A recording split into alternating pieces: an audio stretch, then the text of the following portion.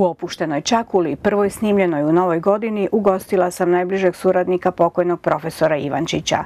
S profesorom Lulićem razgovarala sam o čemu drugom, već o hagioterapiji. Htjela sam stvoriti emisiju koja će u ova turbulentna i pesimistična vremena pružiti nadu koja će probuditi čovjeka i potaknuti ga na razmišljanje. Profesora Ivančića pamtiće mnogi, nasmijanog, spontanog, čovjeka koji oko sebe širi dobrotu i ljubav. U mnogima je posijao zrno vjere, ali ono po čemu je ostao najupečatljiviji je hagioterapija. Iako se o hagioterapiji puno govorilo, mnogi se još pitaju o čemu se zapravo radi. Da je profesor Ivančić tu, zasigurno bi rekao o dobroti.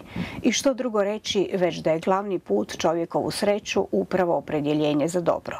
A taj put nastavili su suradnici profesora Ivančića. Jedan od njih je profesor Ivica Lulić, čovjek neiscrpne energije i širokog osmijeha. I što drugo očekivati od čovjeka koji je godinama bio prvi suradnik profesora Ivančića, već traženje onog dobrog u svemu, pa i u novinarskom poslu. Mislite da je moj posao lijep? Pa je, pa je. Znači, prenosite sadržaje koji su tako zapravo mogu biti zbilja vrhunski, jel? Znači, a vi birate, vi odlučujete što ćete prenijeti, tako prema tome. Stvarate, stvarate nešto dobro.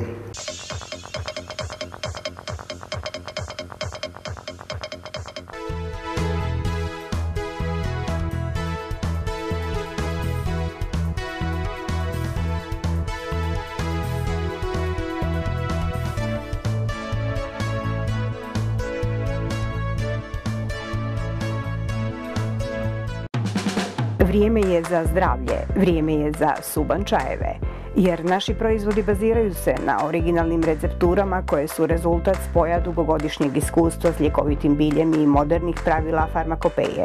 Bavimo se proizvodnjom, sakupljanjem, otkupom, preradom i trgovinom proizvoda od ljekovitog bilja. Biljne kapi, tinkture, čajne mješavine, pojedinačno bilje, čajevi u filtar vrećicama, kozmetika, proizvodi od jabuka.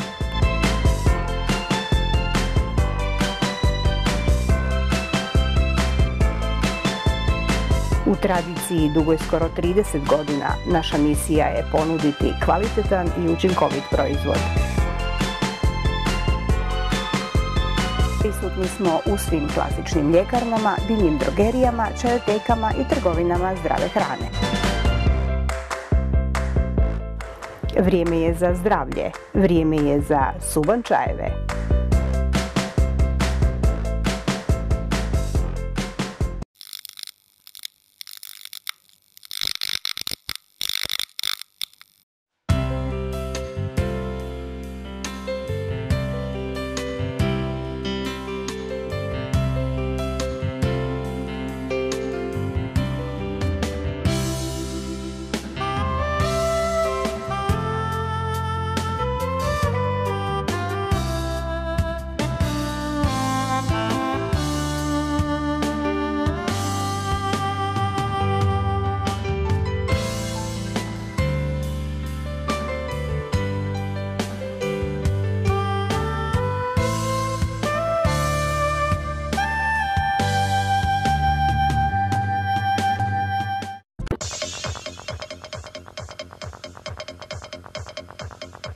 Smo već kod novinara, kad smo krenuli na takav način, danas novinarstvo baš i nije na visokim granama. U Hrvatskoj je puno žutila, puno toga ne valja. Kako vi to komentirate, kako vidite, kako bi to hagioterapija mijenjala? Ja mislim da zapravo otkriće duhovne dimenzije je potrebno svakom čovjeku, pa onda u tom kontekstu su i novinari. Prema tome, e, dok čovjek ne otkrije tu duhovnu dimenziju, to znači taj dio koji manjka, znači ta jedna cjelovitost čovjeka, mi čovjeka nekako psihofizički promatramo i to je možda ta teškoća u kojoj smo mi svi i u prirodnim i u društvenim ovaj, znanostima izloženi. Mi stalno nekako mislimo da je čovjek ovo što smo mi do sad otkrili. Međutim, postoji jedna velika činjenica, jedna nepoznanica, da mi ne poznajemo čovjeka s te strane, bitne strane, antropološke strane. Mi danas živimo u vremenu kad mislimo da su to nekakva sporedna pitanja. Tko je to čovjek u sebi? E, koja je zapravo svrha našeg života, u čem je smisao života, zašto se isplati živjeti. Neki će reći, pa to je, imam jednu ovako kolegicu koja kad malo uđem u diskusiju, onda ona meni kaže, ma dajte, pa filozofiraš. Dakle, nije razmišljati filozofiranje, nego već tama riječ je, dakle, ta jedna ljubav prema mudrosti.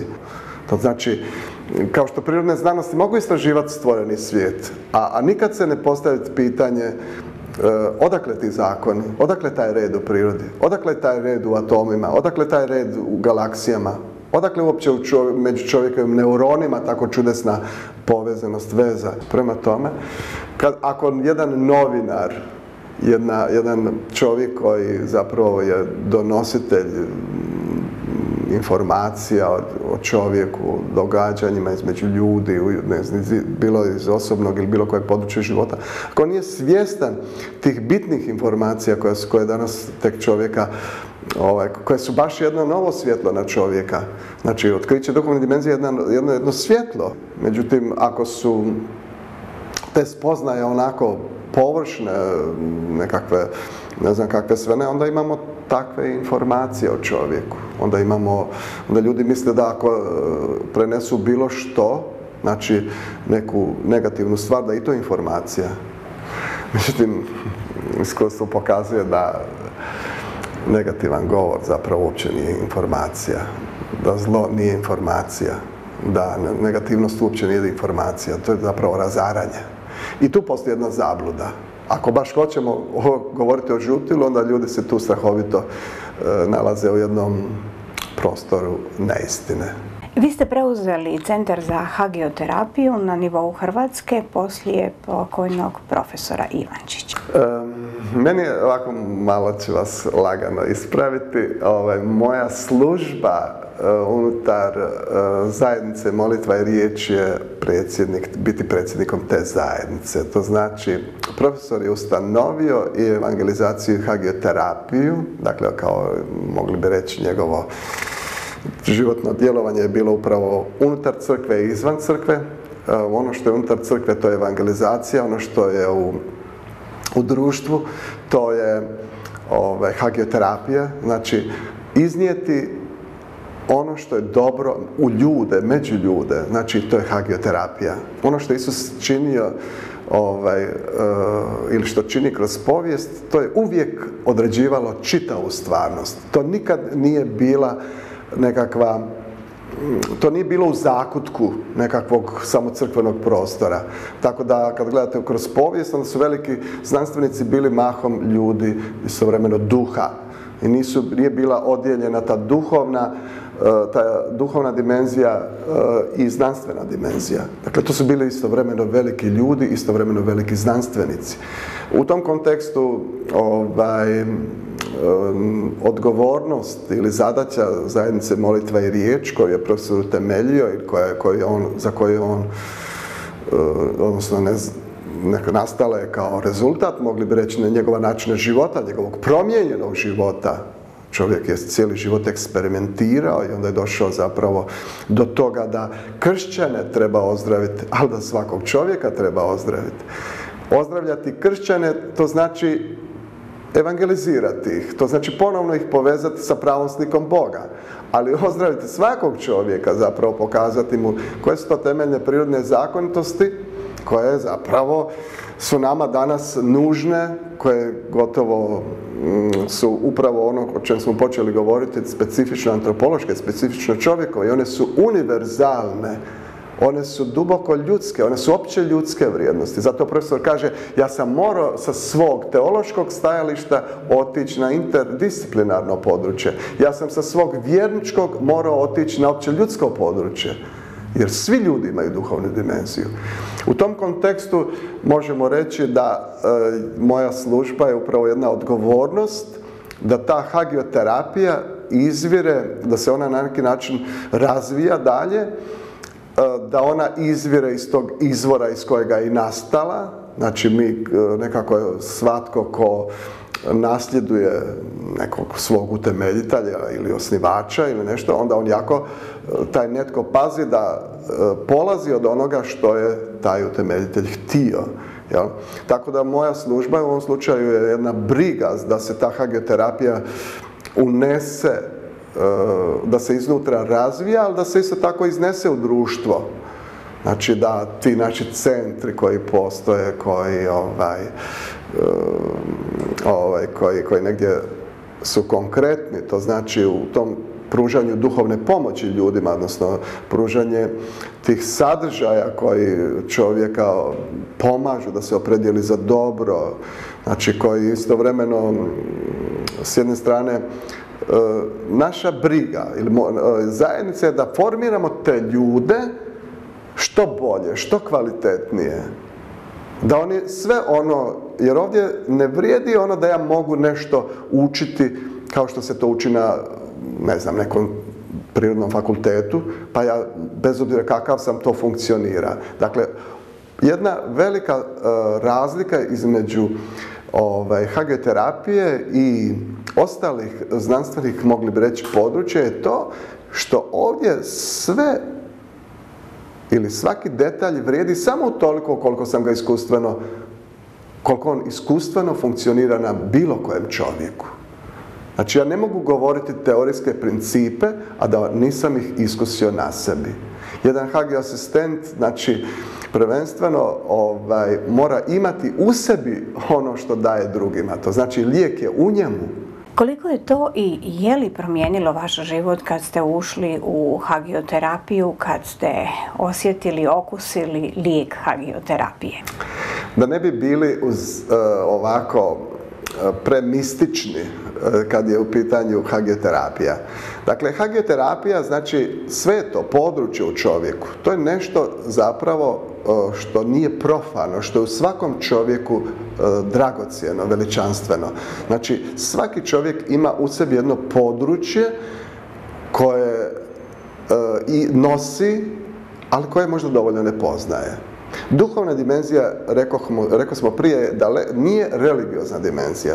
Religioznost je samo jedno područje čovjekove duhovne duše, čovjekovog duhovnog područja. Prema tome, Nekad ljudi e, misle da je to nekakva sad moderna, da ne kažemo možda nekad ljudi kažu, a što ti je to? Hagio je, e, je grčkog porijekla riječ, znači sve to. E, liječiti, dakle, u čovjeku što je sveto ili ozdravljati u čovjeku središte čovjekovo. Prema tome, to je duh čovjekov. A duh je područje čovjekove osobnosti. To je jedna specifična struktura u čovjeku. Kao što postoji biološka, kao što postoji psihička struktura, tako postoji specifična ljudska struktura koja nema ni biljke ni životinje, koja ima čovjek. I zatim ona četvrta razina je svakako duhovno-božanska razina koja, koja nas ljude nadilazi.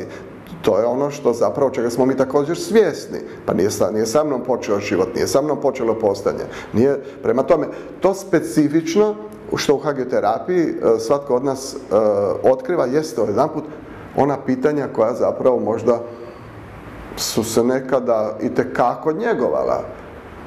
To je područje čovjekove mudrosti, to je područje čovjekove slobode, to je područje čovjekove slobodne volje, to je područje čovjekove kreativnosti, to je područje dakle čovjekovog identiteta, to je, to je, to je područje tih prirodnih zakonitosti koje su upisane u čovjeka. Prema tome, ako mi hoćemo danas opet čovjeku nekako pomoći, mi moramo sami to otkriti u sebi. I to moje nekakvo poznavanje te duhovne dimenzije nije baš, isto baš bilo jednostavno. Najprije sam doživio da je, ja sam tradicionalni kršćanin, ja sam zapravo doživio ovo, da mi nitko nije pokazao pravu sliku Boga. Tako da moja slika Boga je bila upitna. I kad sam ja doživio da je Isus Krist prava slika Boga, onda sam ja u svojoj mladosti odnaput sav se okrenuo za njim, da ga upoznam. On je meni zapravo donositelj onoga e, što zapravo mnogim kršćanima danas treba. Kršćansku sliku Boga može liječiti samo onaj koji je autentična slika pravog Boga, to je Isus iz Nazareta, Isus kao povijesna osoba. To je za kršćane. Međutim, nisu svi kršćani, ni u svijetu, ni u Hrvatskoj. Prema tome, time što sam počeo otkrivati da je ovaj, na početku svega nešto, da nikad nije bilo ništavilo, time što sam počeo razmišljati što je to nešto i da to nešto nikad nije nastalo, da je to oduvijek, onda sam pronašao i tekako kroz hagioterapiju da je to bitak, da je to egzistencija, da tu egzistenciju nitko od nas sebi nije dao. Da su to takve čudesne zakonitosti koje nas ne uči, ja sam studirao pravo i ne znam što sve ne, e, i teologiju, ali ja to nisam sreo ni na jednom drugom fakultetu. Teologija se bavi čovjekovim, ovaj, odnosno Božjim odnosom prema čovjeku. Tu, tu se istražuje Bog. Humanističke znanosti, je kako one se bave određenim područjima, ali nitko tu zapravo nas, mlade ljude, ili kad budemo u mladosti, ili, kad, ili u zrelosti, ili bilo kojoj dobi života, niko nas ne uči, a tko smo mi to zapravo iznutra. Dakle, to otkriće da sam ja određen od nekoga, da sam ja primio sebe, da sam ja sebe našao, da ja sebe nisam naručio, da ja svoje sposobnosti, svoje ograničenosti također sam dobio, da sam ja e, zapravo došao u svijet koji nisam poznavao, da ja pripadam jednoj kulturi koju uopće nisam birao, to da, da ja nisam mogao birati tko da sam ja muško ili žensko, da sam, ja sam, kad sam to shvatio da ja svoj identitet nisam zbilja ni na koji način naručio, ja sam shvatio, pa ja, ja sam to sve dobio. To, na meni je samo da ja to prihvatim. To je zapravo jedno područje strahovite e, e, jednog, jednog, jednog u čovjeku traganja. Sad zamislite čovjek dođe, ne, ne znam u kojoj sve fazi, u bilo kojoj fazi života se može naći pred tim pitanjima, pred tim traganjem. Mladi ljudi kažu u Americi, u istraživanjima kaže mi imamo od čega živjeti, ali nemamo za što. Viktor Frankl u logoru Hitlerom će reći svaki kako se može izdržati kad imaš razlog zašto to izdržati. Prema tome čovjeku e, hagioterapija daje smisao. Često ljudi prožive teške stvari u životu i puno toga im se nakupe i onda jednostavno ne vide smisao života. Ne vide uopće razloga zašto bi se, ne znam, ujutro probudili, digli iz kreveta i kamo bi uopće krenuli. Zapravo, to se tako manifestira u čovjekove psihi. Ja znam da sam ja bio student i da kad u jednoj fazi nisam bio uspješan, onda bi spavao što, du, što duže. Tako da mi prođe dan, po mogućnosti do podne. Tako da kad popodne se probudim, da, da nemam više potrebu ništa raditi, nego nastaviti vegetirati. To je bila jedna faza kad, sam, kad sam imao krizu učenja, sam imao krizu e, smisla tog svog e, daljnjeg načina rekao bi, studiranja, dakle, krizu uspješnosti svega. Ja sam vidio kako, kako zapravo ja tonem poprilično. Ali sam zapravo otkrio kasnije da ta moja kriza uspjeha, zapravo jedna dublja kriza, to je bilo, to je pitanje, to je bilo zapravo jedno, jedno, eh, jedna potreba da se sastanem sa samim svojim temeljima svoga života, temeljima svoga bića. Ja sam recimo kao dijete bio odvojen godinu dana od roditelja. dakle, zbog bolesti. Liječnici su mi spašavali vid, ali sam istovremeno bio odvojen godinu dana, od pet mjeseci pa do godinu i pol. Ja sam adolescentskim godinama ili zrelim godinama mladi, odnosno početno mladi, početno, početnoj zrelosti, onda sam doživio strahovitu prazninu, strahovit besmisao, strahovitu, e, kako bi rekao, tu emotivnu, afektivnu zakočenost u sebi, kao da nisam imao emocija, ono, jednostavno nisam sebe razumio, otkud to sada, a uvijek sam bio po prirodi optimist, vedar, nasmijan. Ja sam tako duboko nosio u sebi ono što sam doživio. Dakle, čovjek nosi svoja iskustva. E, čovjek je egzistencijalno određen, čovjek je bazično određen, čovjek je životom kasnijim određen. Dakle, e, što se meni dogodilo? Pa dogodilo mi se baš ta bazična ugroženost, ja ću reći nesigurnost. To je poznato u psihologiji, odnosno u poznavanju čovjekovog tog razvoja, formacije čovjekove, sazrijevanja čovjekovog, da se u prve tri godine e, stvara temeljna sigurnost i da su bitni kontakti djeteta i roditelja. Da se tu stvara upravo ta, kad bi mi danas te spoznaje imali, mi nikad ne bi neko dijete ostavljali samo tako u bolnici samo. To je trauma da dijete uopće mora e, doživjeti tu odvojenost od, od, od, od sigurnosti. Dakle, tako da recimo istoga sam ja doživio na vlastitoj koži kako, kako nije jednostavno uh, izići na kraj ne znam, sa nekakvim zadaćama. Svi od mene očekuju uspjeha, ja jedan put vidim da nisam sposoban za taj uspjeh. Kao što mi od mladih ljudi očekujemo da oni sad se savršeno razumiju time što su došli u određene godine, da bi oni trebali sada biti funkcionalni, da bi trebali biti dobri u poslu, pa bi trebali biti dobri roditelji. Međutim, niko se ne pita a jesu li oni e, sposobni zato što oni sve nose, što njih sve opterećuje, to nije razlog za ispriku, ali je to samo jedan simptom, znak da mi površno, strahovito, mi u crkvi i u društvu pristupamo čovjeku. Mi svi hoćemo nekog gotovog čovjeka. Međutim, ja, ono što ja duboko doživljam, profesor se trudio oko nas kad smo bili mladi studenti. On se tako silno, profesor Ivančić, trudio da on nama na svaki način bude na raspolaganju. Ne samo on, nego on je nama dovodio razne druge ljude, profesore, dakle sebi slične i drugačije od sebe, da bi nas informirao, da bi nas oblikovao. Istovremeno nikad nije štedio svoje vrijeme ni svoj život. I ono što smo sigurno doživjeli, zapravo tu e, njegovo vlastito iskustvo je bilo to u koje on nas uvodio. Dakle, on je doživio da nije teologija dosta. On je doživio da znanje ne mijenja čovjeka. On je doživio da, uh, da postoji jedna druga dimenzija u čovjeku koja čovjeku daje, koja rasvjetljuje čovjeka iznutra. Jer čovjek može imati zdrave oči, znamo mi u hagioterapiji, nego pored zdravih očiju je potrebno svjetlo kojem se dobro vidi i pomoću kojega čovjek tek spoznaje, a to je svijest. A da ne govorimo o samosvijesti. To je sposobnost da ne samo spoznajem svijet oko sebe, nego da ja spoznajem i sve što se događa unutar mene. E, u tom je, recimo, to je ono možda što ja sam doživio u hagioterapiji. Pa to je tako čudesno. Ti jedan put vidiš, to su čitave zakonitosti. To su zakonitosti duhovne duše. To je specifično ima čovjek. To nemaju biljke i životinje. To nema, ne znam ja, e, nekakva, e, kako bi rekao, robotika. To, to, to ima čovjek u sebi. Prema tome čovjek je odlučujući.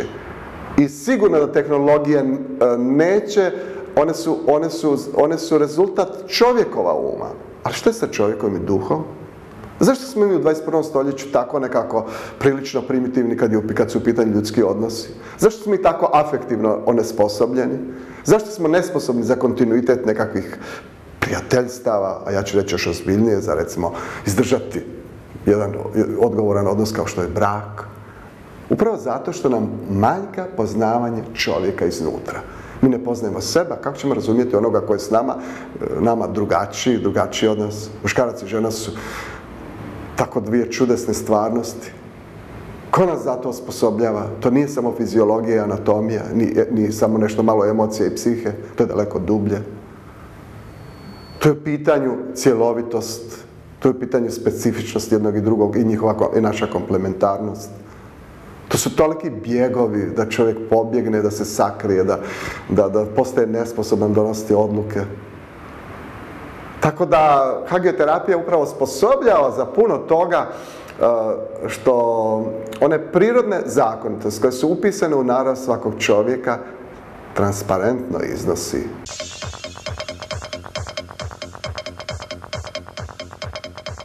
Prva privatna ortopedska bolnica u Hrvatskoj najmodernija medicinska oprema i vrhunski tim stručnjaka. Ako imate problema s ozljedama ili bolešću lokomotornog aparata, ortopedskih problema kod beba i djece, posjetite nas. Specijalna bolnica za ortopediju i opću kirurgiju dr. Nemec Matulji pokre opatije.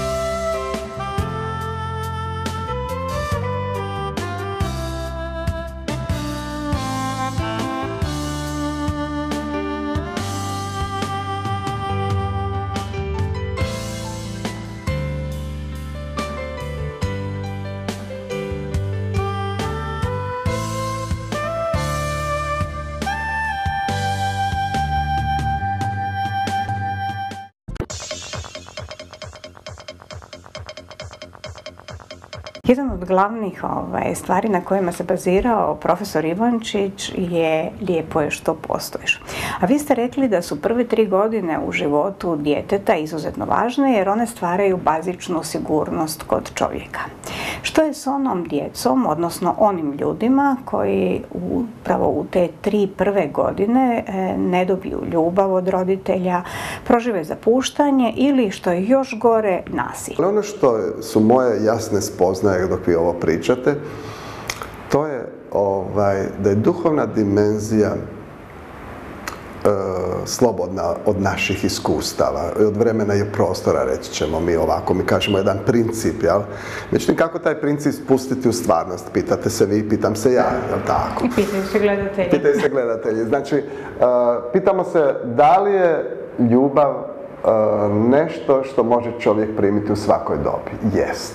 Zato jer je to sloboda od vremena i prostora. Postoji jedna bezuvjetna ljubav koja je temeljni lijek u HG a ona je jedna, ona je univerzalna. E, čovjek je ograničen i to je definitivno iskustvo svih nas. Najbolji roditelji će pogriješiti u svom, u svom životnom djelovanju. Dakle, bilo u profesionalnom, bilo u osobnom, na bilo kojem području. Najbolji roditelji, visoki profesionalci, ne znam, u nekom možda svom poslovnom području, vjerojatno su na osobnom planu negdje i tekako možda tanki. Tako da, e, jako je potrebno razumjeti da je čovjek, e, svaki čovjek na zemlji, time što je čovjek i ograničeno biće, dakle nije apsolutno dobar. On, on, je, on je e, čak nije, nije apsolutno slobodan, ali je u mogućnosti mijenjati se. To što mi stvarno dolazimo kroz ljude takve koji imaju svoje ograničenosti, što mi dolazimo kroz ljude koji su primili isto tako manjkove ili doživjeli negativna iskustva. Čovjek je jako određen s, onim što je on primio, jel tako? Ako je to roditelj, ako moj tata je doživio da ga je netko u crkvi tukao šibom i cijeli život 56 godina nije se ispovjedao, onda je to jedno samo jedno negativno iskustvo koje ga je odredilo. I ne treba se tome čuditi zašto taj čovjek je vjerovao bio dobar i na kraju se jako lijepo ispovjedio na kraju smrti, pred smrt, odnosno pred kraj života, a istovremeno ja se pitam, a kako je ono nekako cijeli život bio oprezan prema crkvi, oprezan prema Bogu? Zašto? To žive negativna iskustva. Čovjeka mogu zbilja, i tu, to, je, to je vrlo delikatno što mi posredujemo. Ja kao vjeručitelj, ja mogu i tekako kod djece stvoriti nekakvu krivu sliku o Bogu. Ja sam u poziciji, ja sam u poziciji možda i moći. Prema tome strašno je važno kakav sam ja koji, koji, koji posjedujem tu sliku. Tako je, tako je silno važno kakav je roditelj komu je povjereno dijete. Dakle, on to dijete nije naručio, on je toga svjestan, međutim mi se često vladamo upravo suprotno.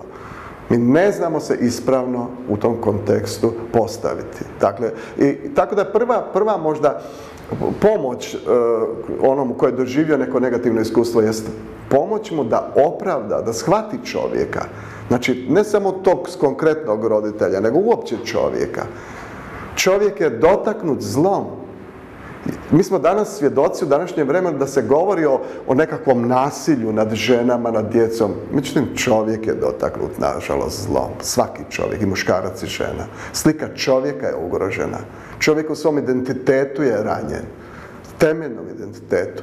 Prema tome, svakom čovjeku je nekako potrebna e, ta prava, e, pravi identitet, prava, e, ona terapijska slika njega. To znači, otvoriti mu mogućnost da on bude projekt. To znači, dati mu nadu da se on može, da ga se može, da mu se može pomoći.